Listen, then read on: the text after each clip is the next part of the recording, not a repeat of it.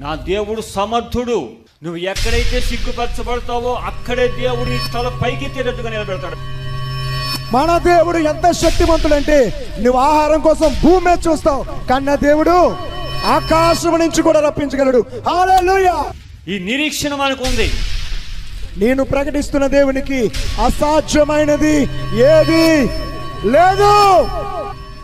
శ్రమకు తగినటువంటి ప్రతిఫలం దేవుడు మనకు అనుగ్రహిస్తాడు.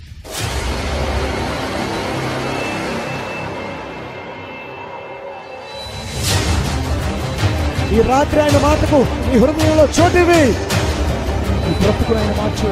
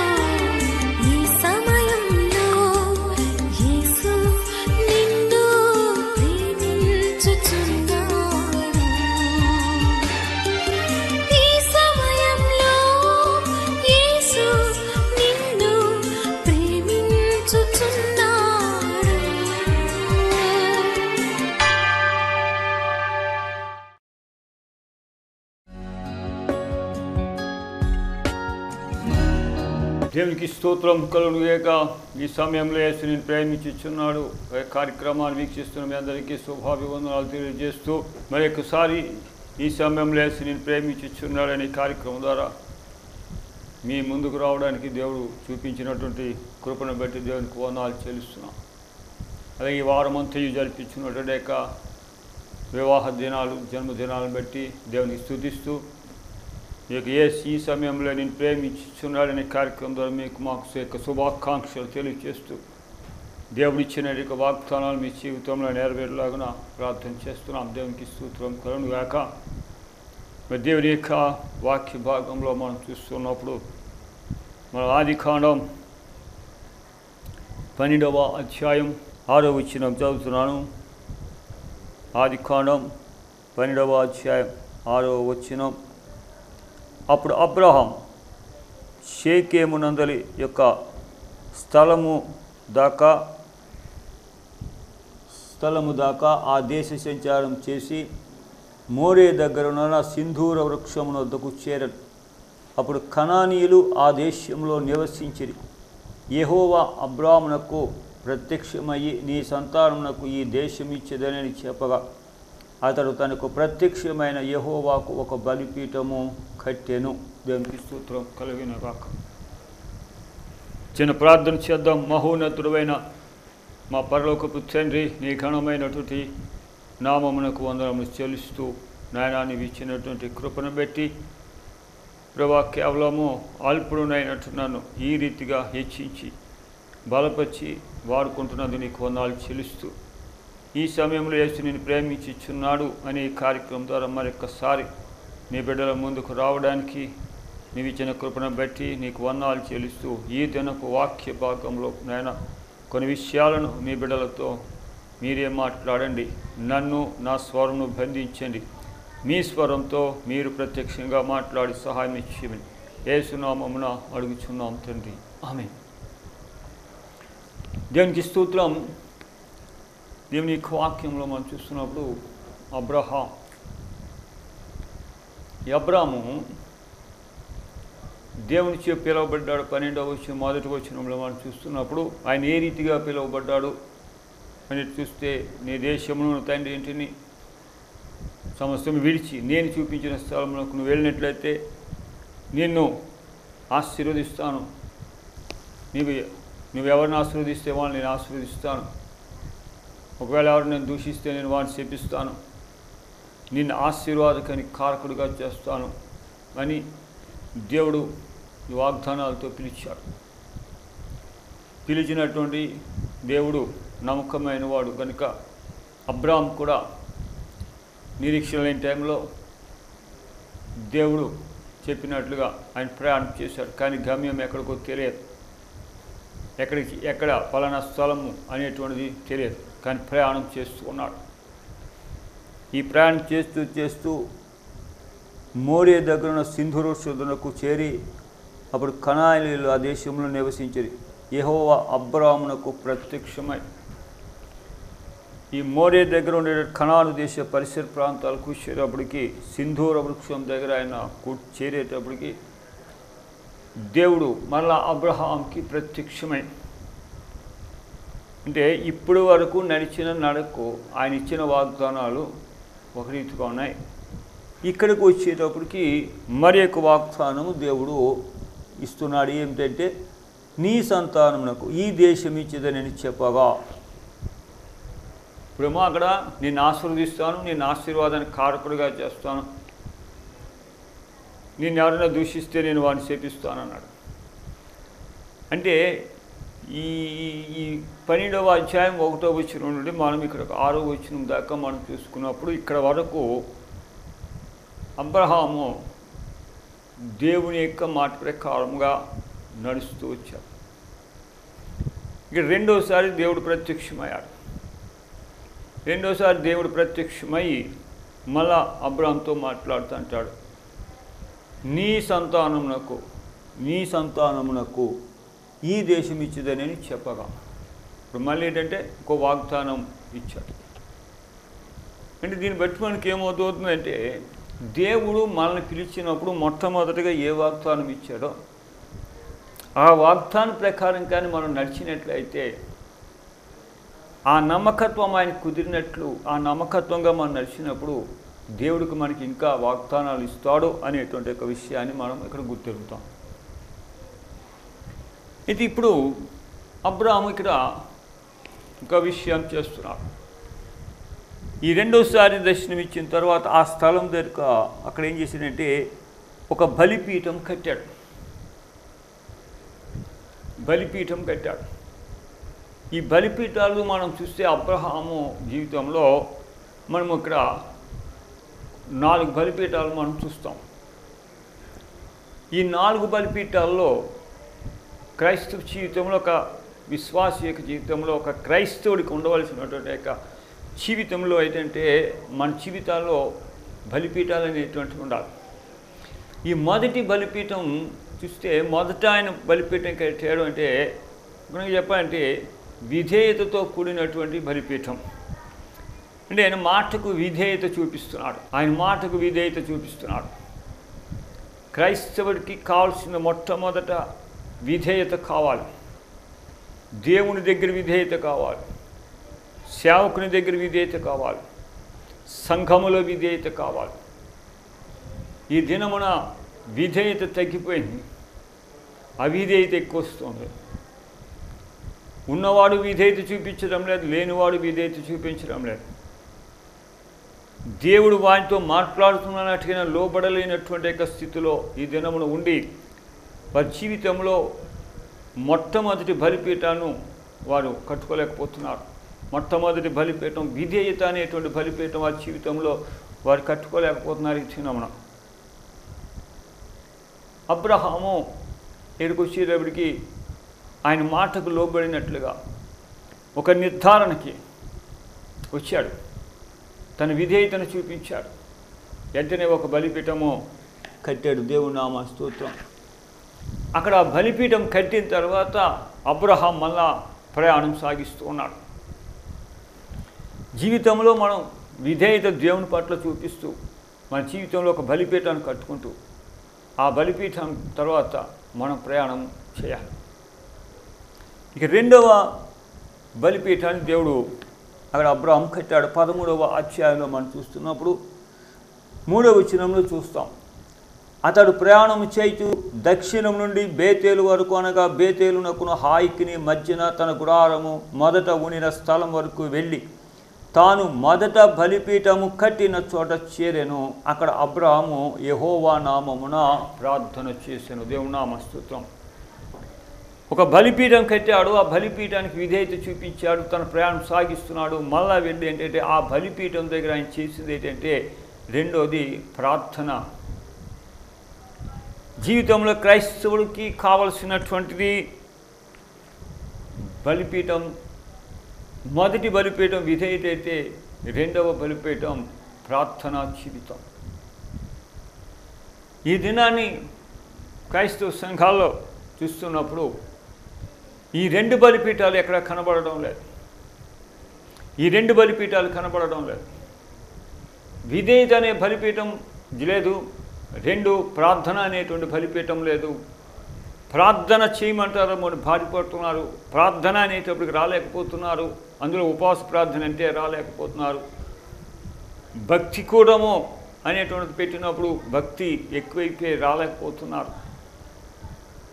మరి క్రైస్తవ జీవితంలో బలిపీఠాలు కట్టకపోతే ఏ రీతిగా మన యొక్క ప్రయాణం సాగుతుంది? ఒకసారి మనం ఆలోచించాలి. విధేయత లేదు. ప్రార్థన లేదు. నువ్వు ప్రార్థన చేసేవాడిగా ఉండాలి.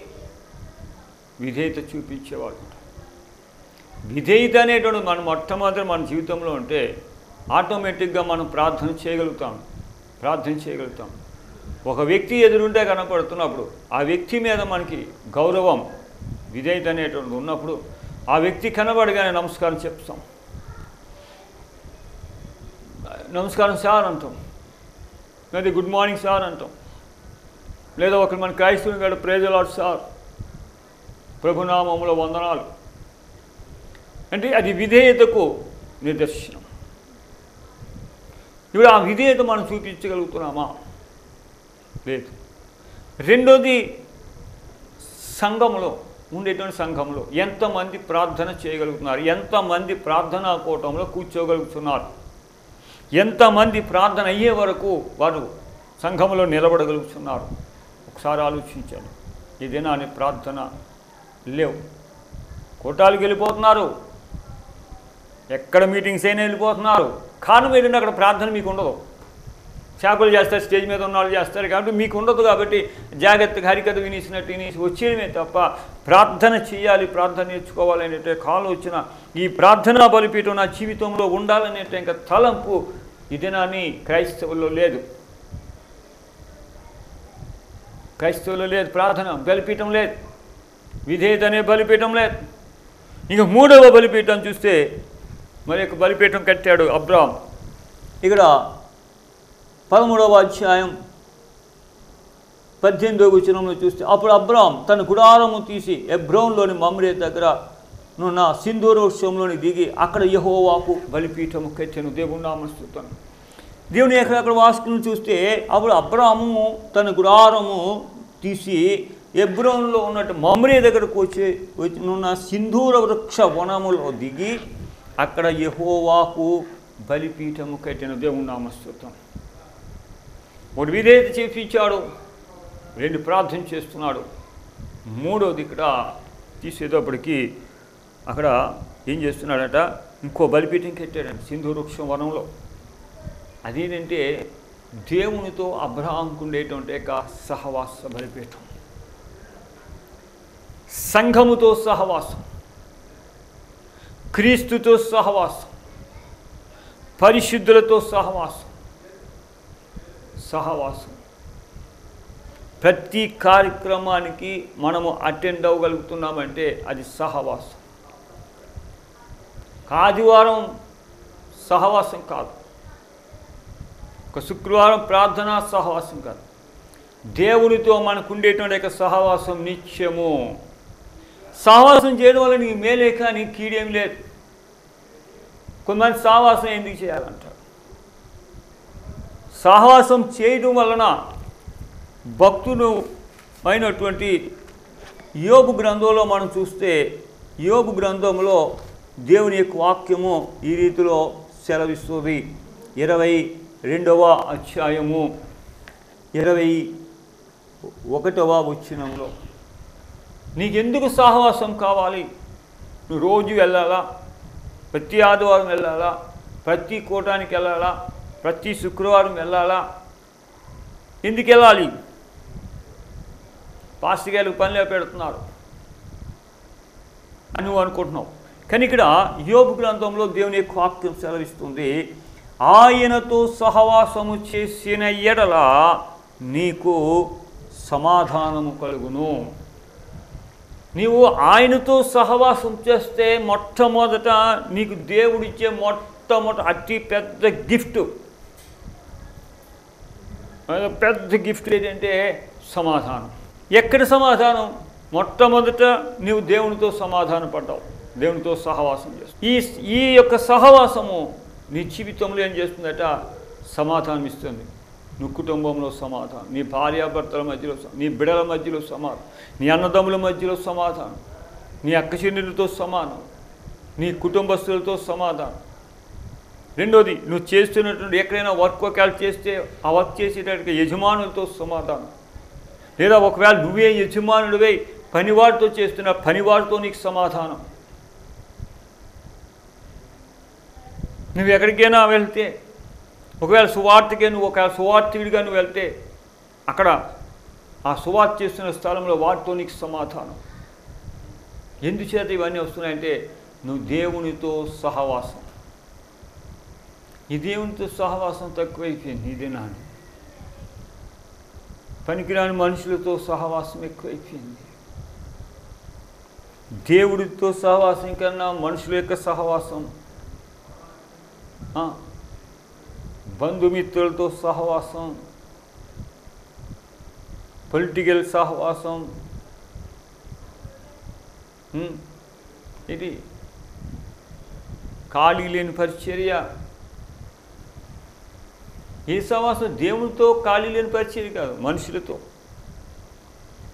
ఎందుకు దేనికంటే దేవునితో సహవాసం చేయవు నువ్వు సంతోష పెడుతున్నావు కానీ నువ్వెవరితో సహవాసం చేస్తున్నావు? మనుషులతో సహవాసం చేస్తున్నావు? ఎందుకంటే మనుషుల యొక్క మెప్పు కొరకు. మనుషులు మెప్పు కనపడదు దేవుడు మెప్పు కనపడదా?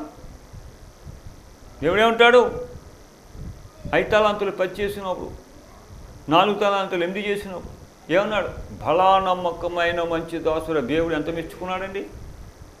బలా నమ్మకమైన మంచి దాసుడా ఎంత గొప్ప గొప్ప చెప్పుకున్నాడు దేవుడు నీ గురించి? చేస్తున్న యొక్క పని గురించి నీ అభివృద్ధి గురించి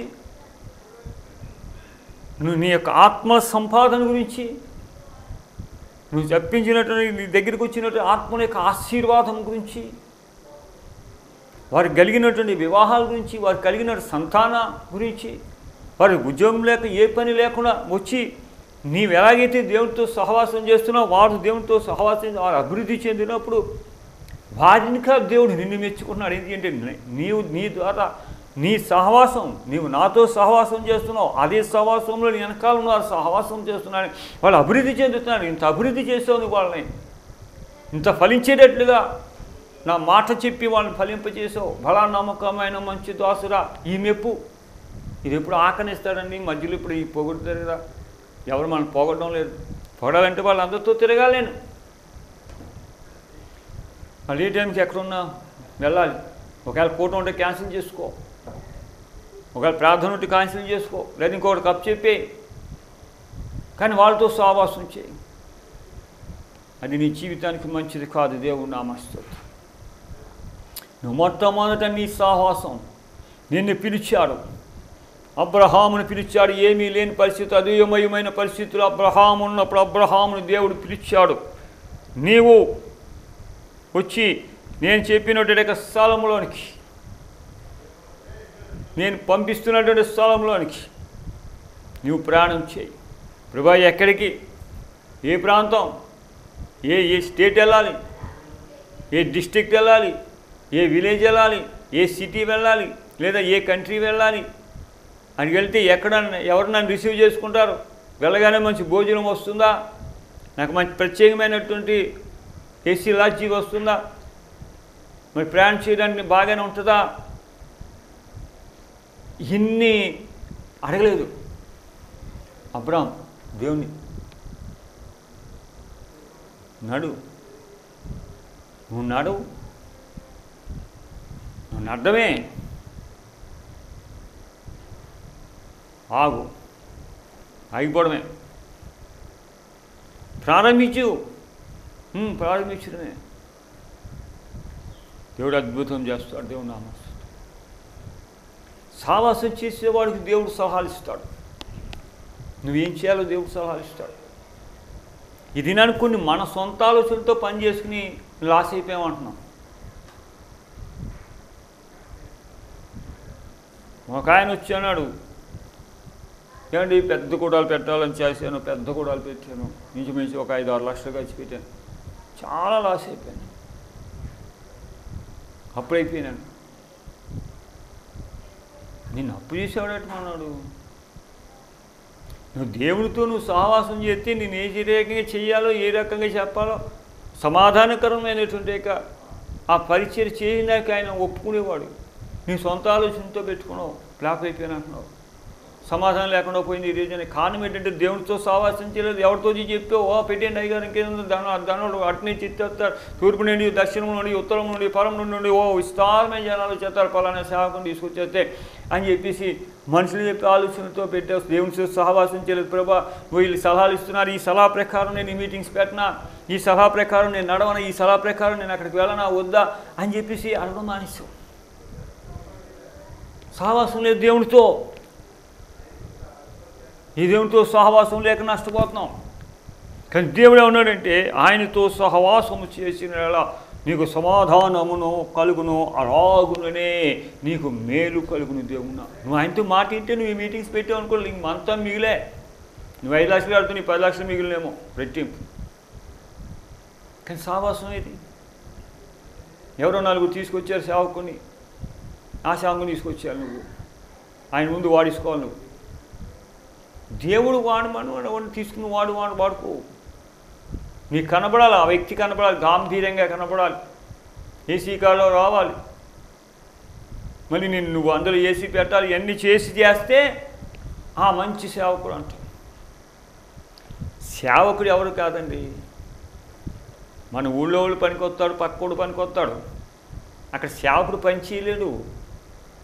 సేవకుడు పని చేయాలి సేవకుడు బలమైన వాక్యం చెప్పాలి అక్కడ బిడ్డలు మారాలి లేదా అభివృద్ధి చెందాలి విస్తరింప చేయాలి ఆ జనాలు రావాలి అంటే ఆ వచ్చే సేవకులలో పరిశుద్ధాత్మ అనుభవము పరిశుద్ధాత్మను కార్యం చేయగలిగితే పరిశుద్ధాత్మ ఆహ్వానము కలిగి పరిశుద్ధాత్మను ఆహ్వానించేసిన స్థితిలో సేవకుడు ఉండి ప్రార్థనాపూర్వకంగా బయలుదేరగలిగితే ఒకవేళ నువ్వు మనము పిలిచిన నాటికి నా ప్రభు వెళ్ళమన్నాడా లేదా అని ఆ సేవకుడు అడిగి దేవుని అడిగి ఒకవేళ పలానా స్థలానికి వెళ్ళి నిన్ను బలంగా నేను వాడుకుంటానని ఆయన చెప్పగలిగితే ఇక్కడికి వస్తే నీకు పని జరుగుతుంది.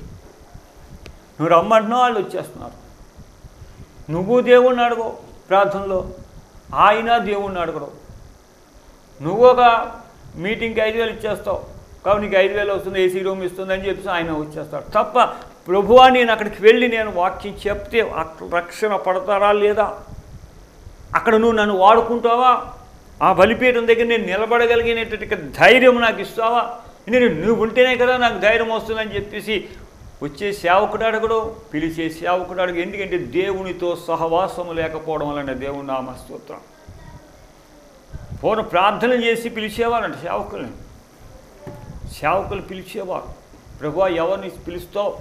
ఎవరిని నేను వాడుకోవాలి? ఈ సువార్త ప్రకటించాలనుకున్నా మీటింగ్స్ పెట్టాలనుకున్నా ఈ ఉపవాస కూటాలు పెట్టాలనుకున్నా ఏ సేవకుడిని నువ్వు ప్రేరేపిస్తావు ఆ సేవకుని తీసుకొస్తాను. అని దేవుడు చూపిస్తున్నప్పుడు ఆ సేవకుని తీసుకొచ్చినప్పుడు వాళ్ళు అభివృద్ధి చెందేవారు. ఆత్మల రక్షణ జరిగేది. ఇది నువ్వు పదకొండు లక్షలు పదిహేను లక్షలు ఇటు మీటింగ్ పెట్టిన ఒక్క ఆత్మ రక్షణ లేదు.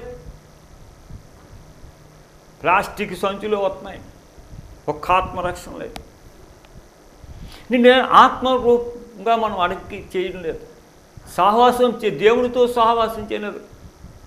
ఎవరు చెప్తాడు అబ్బా బలంగా వాడుపడ్డాడండి అక్కడ. పిలిచేదేమో అక్కడ వాడుపడ్డాడు దేవుడు. వాడుకున్నాడు అక్కడ. ఇక ఆయన పంపించలేదు నువ్వు పిలుస్తున్నావు. మిలాన్ పెళ్ళలేదా బాలాకు? వాడబడ్డాడు? వాడబడ్డాడు? బోల్డ్ డబ్బు ఇచ్చాడు.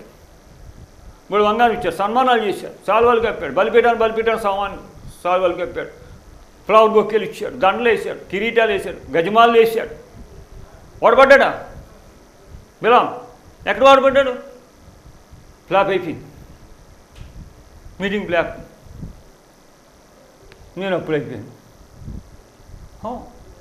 పరిశుద్ధాత్మ అని పిలిస్తే పని అవుతుంది ప్రభా పిల్ల ఎవరిని పిలుస్తావు నీకు మనుషులు కనపడాలి గాంభీర్యంగా నాలుగు మాటలు చెప్పేవాడు ఉండాలి నీతో పొగడాలి పిలిచిన వాళ్ళు పొగడాలి సెక్రటరీని పొగడాలి మేము ప్రెసిడెంట్ పొగడాలి ఈ పొడిగేవాడు ఎవడు ఉన్నాడు జాగ్రత్త చూసుకుంటావు అంతే అయిపోతుంది సావాసం చేయి దేవునితో సావాసం చేయి అబ్రహాము విధేయత చూపించాడు. రెండోది ప్రార్థనాపరుడు. మూడోది సహవాసం కలిగినటువంటి వాడండి దేవుని నామ స్తోత్రం ఇంకో విషయం చూస్తే మనం సమర్పణ.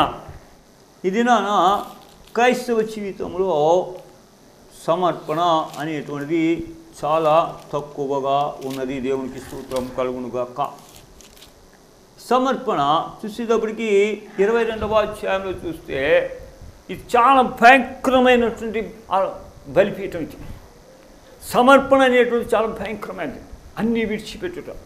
ఏది అడిగినా ఇవ్వగలిగినటువంటి స్థితి కలిగినటువంటి అర్పణ కలిగినటువంటి ఈ అబ్రాహం ఇక్కడ బిడ్డడికి ఇరవై రెండు చాలా హ్యాపీగా జరుపుతున్నటువంటి సమయంలో చాలా సంతోషంగా ఉండే బిడ్డ కలిగి సంతోషంతో ఉన్న సమయంలో దేవుడు సడన్గా ఒక మాట చెప్పాడు. Shocking news. అబ్రాహమా నేను ఒక మాట అడుగుతున్నాను. నువ్వు నాకు చేస్తావా? అని అడిగాడు. ఏంటి ప్రభా? నీ ఒక్క గాని ఒక్క కుమారుడైనటువంటి నువ్వు అతిగా ప్రేమిస్తున్నటువంటి ఇస్సాకును నాకు బలిచ్చేవా మోరియా దేశాన్ని తీసుకువెళ్ళి అక్కడ ఉండేటువంటి యొక్క నేను చెప్పబో పర్వతం మీద ఒక దాని మీద దాని బలిగా అతను అర్పించమని చెప్పాను. ఇది చాలా భయంకరం. ఒక కన్న కొడుకుని లేక లేక వంద సంవత్సరాల వయసులో కన్నటువంటి కొడుకుని